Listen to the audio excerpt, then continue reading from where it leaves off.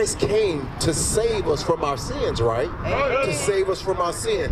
So if I were to ask you what was sin, what would you say? Uh, drugs. Okay, that would be a sin, yes. And um, being homosexual. Yes, that's a sin. Being um, uh, uh, uh, what women do. Uh, be- being Pornography. All of these things are sin.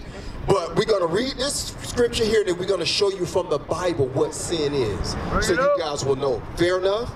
All right, read that. Deuteronomy chapter 22, verse 5. Well, you know what? Hold that. Got it.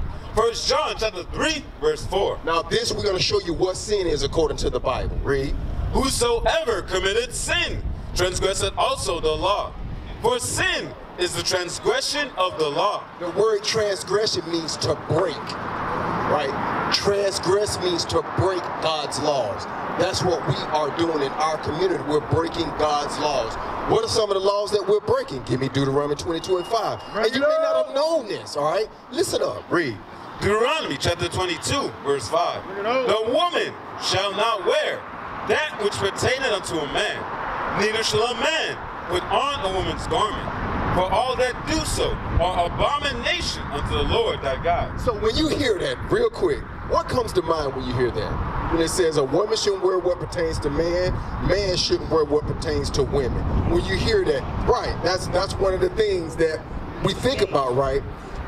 And they will put that kind of spirit on you. But there's something it's deeper than that. On the surface, I shouldn't say on the, uh, it's deeper. On the surface, we're looking at it from a deep standpoint when we say homosexuality. And that's a spirit. Because if a man puts on a dress, what kind of spirit does that put on him? Like he a woman. Like he's a woman. A sodomite spirit is on that man that wears a dress. Likewise, when our sisters wear what?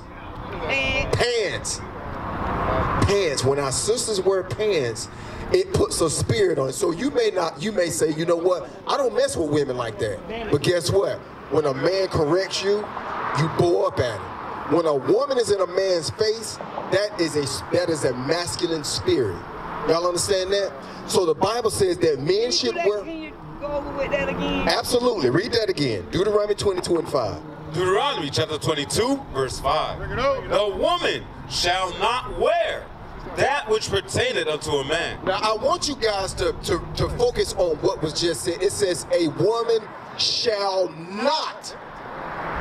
That's a commandment. Shall not. Read.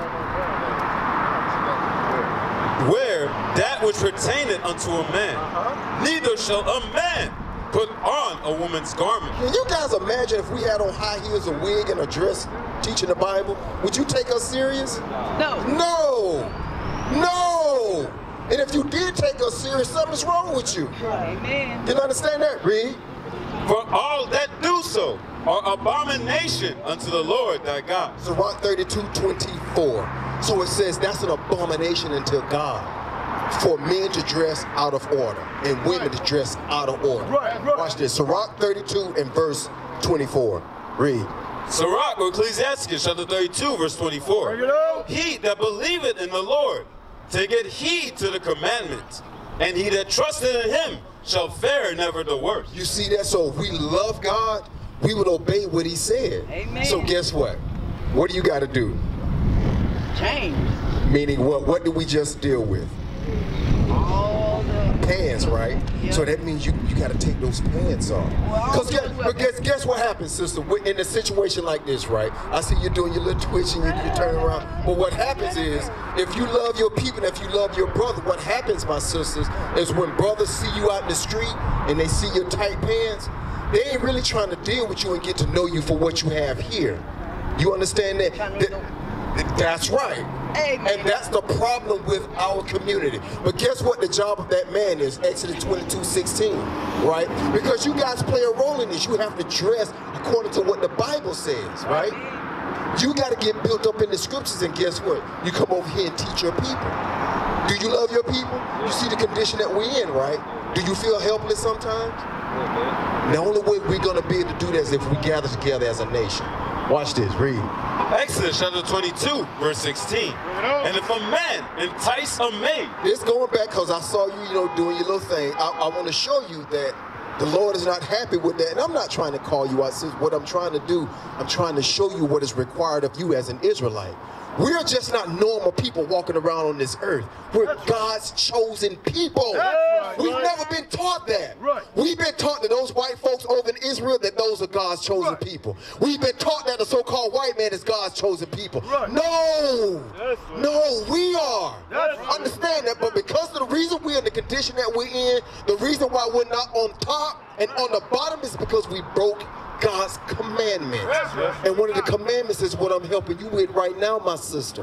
Read that.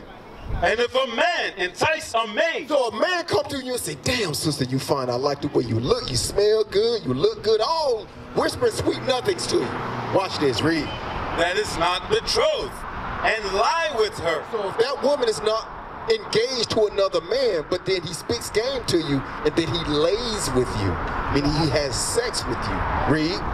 He shall surely endow her to be his wife. That's a law. That man that you sleep with, he's supposed to marry you. Amen. That's what the scripture says. Uh, give me Sirach 6.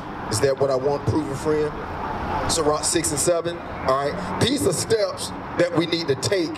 When it, and this, uh, what I'm reading applies to you too. All right. These are things that we have to do before we get to that point. Because what happens is we put the cart before the horse. We see a brother that got nice hair. We see a sister with nice skin.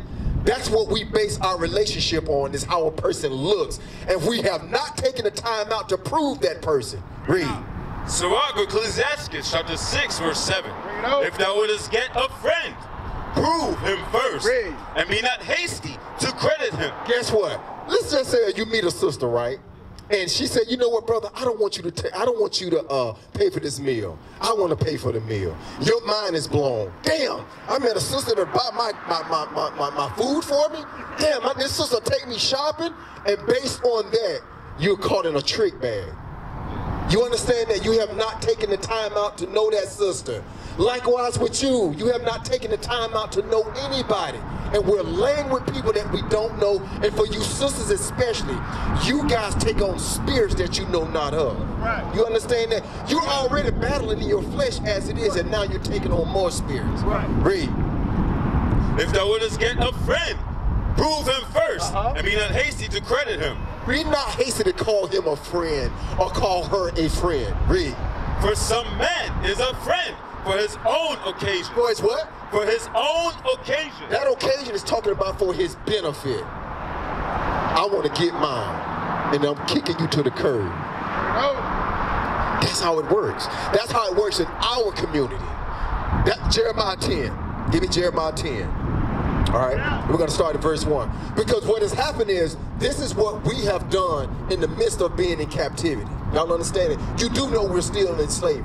We're still in captivity. All right, read that. Jeremiah chapter 10, verse 1. Bring it out. Hear the word which the Lord speaketh unto you, O house of Israel. So what you guys are going to, as you listen to this Bible, you're going to hear the word Israel mentioned over and over and over because God is only dealing with you. Read. Thus says the Lord, learn not the way of the heathen, mm-hmm. and be not dismayed at the signs of heaven. So the Bible tells us not to learn what the heathens have taught us. The heathen taught us women wear pants. The heathens have taught us to celebrate Christmas, New Year's, birthdays, and all these other wicked holidays. That's what the heathen has taught us. The heathen has taught us it's okay for us to lay down with a white woman. Can I sit down? Sure, you, you can. Absolutely. You can. This is what the heathen has taught us to do. You understand that? You understand, sister? So the Bible says we got to come out of the ways of the heathen. That's what we have to do. That doesn't mean you flee to another country. That means, give me 1 Corinthians chapter 12. Oh, no, uh, Romans 12 and 2. Romans 12 and 2. Watch this. Romans chapter 12. Is that what I want? Or is it 1 Corinthians 12 and 2? Yeah, read. Romans chapter 12, verse 2. And be not conformed to this world, You see that? The Bible says, do not conform yourselves to this world. Read. but be ye transformed by the renewing of your mind. How do you renew your mind? In the will of God, right? You want to be in his will. All praises. You know what I want. Psalms 40. We want to be in the will of God. How do we get in the will of God? What do you think? There you go. What you say, sis? Now, there's a word that I'm looking for that I want you guys to, uh, you need to engrave this in your mind. That sounds good, right? And it is true. But there are specific words that we must use so we can solidify the thought, right? Watch this. Psalm chapter 40, verse 8. I delight to do thy will, O my God. Yea, thy law is within my heart. You see that the Bible says that the law is within your heart. The heart here is making reference to your mind, not this muscle that pumps blood. You understand that? It's talking about your mind. You have to keep the laws and the commandments of God in your mind. That is the will of God. What is my purpose? Why am I here? What am I supposed to do? Give me Ecclesiastes. This is the whole duty of man. It Right? It's a, it is not to make money. It is not to, to lay down with multiple women and multiple men.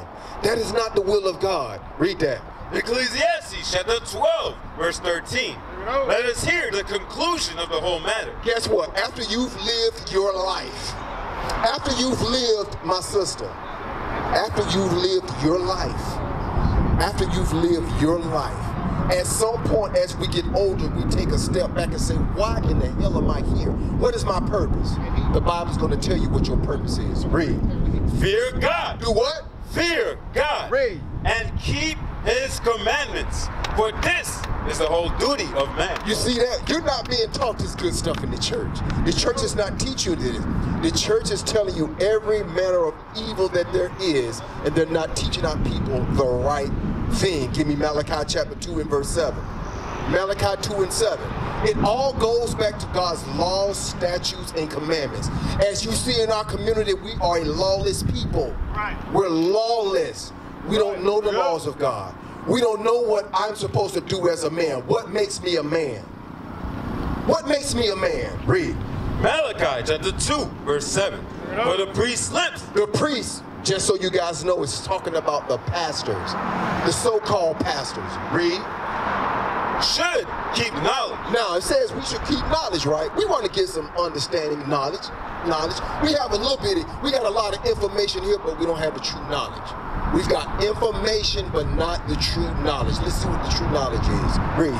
And they should seek the law at his mouth. You see what we keep going back to? The laws of God. How do we get the laws of God in our spirit? Psalms 19 and 7. How do we make that change? How do we renew our minds? Remember we talked about renewing earlier? How do I renew my mind? How do I make a change? How do I make a difference in my community? You understand that? This is how we do that. Read. Psalms chapter 19, verse 7. The law of the Lord is perfect, converting the soul. The testimony of the Lord is sure, making wise the simple. Y'all see that? It's going back to the laws, statutes, and commandments. Shalom, Israel. This is Bishop Nathaniel. I want you to know that you can view all our Sabbath classes live on IUIC TV. That's right, I said on IUIC TV. Download the app today. Shalom. What is nation? Nation is family. Nation is community. Nation is men leading by example. Nation is women's support. Nation is children with role models. Nation is unity. Nation